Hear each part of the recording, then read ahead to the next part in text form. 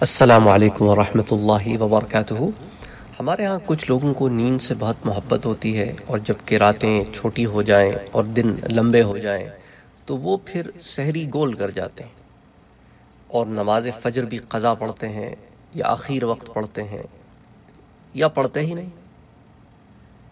اللہ تعالیٰ توفیق عطا فرمائے کہ نمازوں کی ہم پابندی کریں اور ان کو ان کے اوقات میں ادا کریں۔ اور خوشو و خضو کے ساتھ ادا کریں۔ آئیے آج آپ کے ساتھ سحری سے متعلق چند فضائل شیئر کرتا ہوں۔ امید کرتا ہوں کہ اس سے سحری کی طرف رغبت ہوگی۔ دیکھیں جی سحری سے مراد کھانا، وہ کھانا ہوتا ہے جو انسان رات کے آخری حصے میں کھاتا ہے۔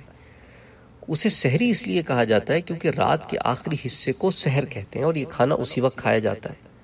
عربی میں اسے ہم کہتے ہیں سحور۔ اچھا یہ جو ڈیفینیشن ہے، یہ آپ کو لسان العرب میں مل جائے گی۔ آئیے کچھ احادیث مبارکہ دیکھتے ہیں، جس سے سحری کی فضیلت ہمارے سامنے آتی ہے۔ حضور صلی اللہ علیہ وآلہ وسلم کا فرمان مبارک ہے، مسلم شریف اور بخاری شریف دونوں کی متفق علیہ روایت کہ سحری کرو کیونکہ سحری میں برکت ہوتی ہے۔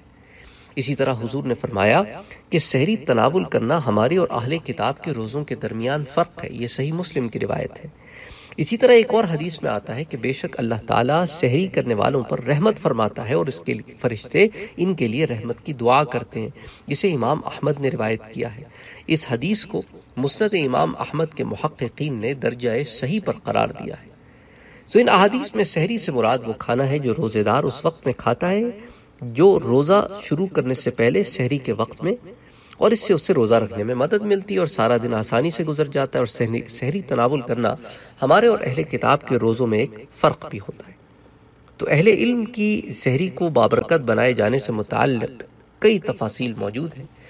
میں اس میں سے چند ایک آپ کے ساتھ شیئر کرتا ہوں۔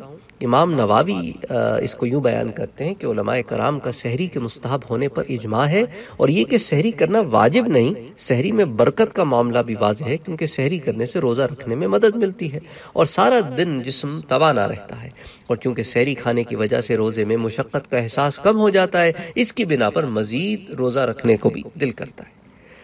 لہذا سحری کے بابرکت ہونے کے متعلق یہی معنی اور یہی مفہوم صحیح ہے۔ اسی طرح امام نوابی حضور صلی اللہ علیہ وآلہ وسلم کے فرمان مبارک کے بے شک اللہ تعالیٰ سحری کرنے والوں پر رحمت فرماتا ہے اور اس کے فرشتے ان کے لیے رحمت کی دعا مانگتے ہیں کیا کرتے رہتے ہیں۔ اس سے متعلق ذکر کرتے ہیں فیض القدیر میں کہ یعنی وہ لوگ جو روزے میں معاونت کی غرض سے سحری تناول کرتے ہیں، کیونکہ روزے کی وجہ سے پیٹ اور شرمگاہ کی شہوت کمزور پڑتی ہے اور یوں دل صاف ہوتا ہے، روحانیت کا غلبہ بڑھتا ہے بڑھتا ہے، جو کہ اللہ کے قرب کا موجب بنتی ہے۔ اس لیے سحری کرنے کے لیے بہت زیادہ تاکید کی گئی۔ ہے اسی طرح اور بھی کتب میں علماء لکھتے ہیں، مثال کے طور پہ کہ روزے دار کے لیے سحری کرنا سنت ہے اور ابن منظر نے اس کے مستحب ہونے پر اجماع بھی نقل کیا ہے۔ اسی طرح حافظ ابن حجر رحمت اللہ علیہ فرماتے ہیں فتح الباری میں کہ سحری کرنے سے کئی اعتبار سے برکت حاصل ہوتی ہے۔ سب سے پہلے تو اس میں اتباع سنت ہے، پھر اہل کتاب کی مخالفت ہے اور عبادت میں معاونت ہے، پھر روزے میں ایک چستی ہے بھوک کے پیدا ہونے کی وجہ سے جو بد مزاجی ہے، اس سے ایک بچاؤ ہے۔ تو اس طرح اور بہت سارے فوائد جو ہیں، وہ انہوں نے ذکر کیے۔ تو خیر، بہرحال کہنے کا مقصد ہے کہ روزے میں سحری جو ہے، ایک فضیلت کا باعث بھی ہے، معاونت کا باعث بھی ہے، مستحب عمل بھی ہے، سنت عمل بھی ہے۔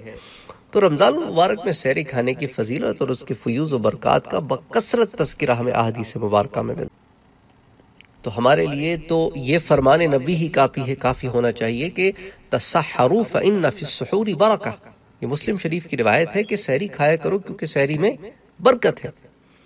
اسی طرح جب جو دوسری روایت ہے کہ السحور اکلوہ برکت فلا تدعوہ یہ امام احمد اسے روایت کرتے ہیں۔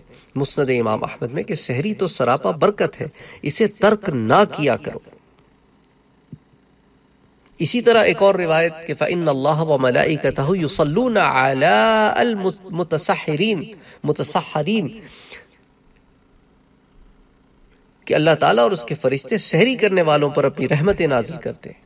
تو المتسحرین کا جو لفظ ہے، اس سے مراد سحری کرنے والے۔ تو یہ بھی امام احمد اسے روایت کرتے ہیں۔ اسی طرح ابن حبان ایک روایت نقل کرتے ہیں اور پھر امام بحقی اس کو سنن القبرہ میں روایت کرتے ہیں کہ حضور صلی اللہ علیہ وآلہ وسلم رمضان المبارک میں سحری کے لیے بلاتے۔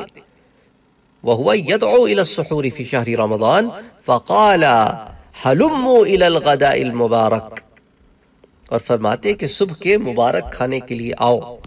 تو اب یہ مختلف احادیث مبارکہ ہمارے سامنے آئی ہیں، تو ان کو سامنے رکھتے ہوئے سحری کی فضیلت ہمارے سامنے آتی ہے۔ اللہ تعالی ہمیں سحری کرنے کی توفیق عطا فرمائے اور صحیح نیت اور خلوص کے ساتھ اور روزوں میں ہماری مدد فرمائے۔ السلام علیکم۔